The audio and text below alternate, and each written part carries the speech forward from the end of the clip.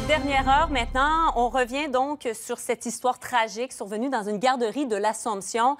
Euh, C'était mercredi, vous étiez sur place et donc euh, un bambin euh, mort après avoir subi de graves blessures. Et Elisabeth, il y a des développements majeurs. Absolument. Ce qu'on vient d'apprendre, et c'est confirmé, Marianne, par la Sûreté du Québec, c'est qu'un homme de 34 ans de Notre-Dame-des-Prairies a été arrêté cet après-midi.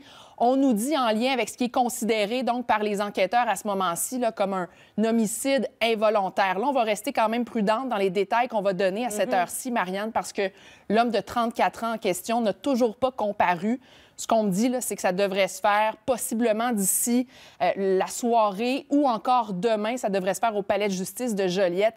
C'est vraiment une histoire tragique. Quand on était sur place mercredi, là, ce qu'on apprenait, c'est que la veille, des enquêteurs des crimes contre la personne de la Sûreté du Québec avaient été euh, déplacés là, donc, dans le secteur de l'Assomption pour faire la lumière sur euh, cet événement. Un bambin d'à peine un an et demi, Marianne, avec des blessures importantes et évidentes qui ont nécessité son transfert à l'hôpital. Et c'est là que son décès euh, a été constaté.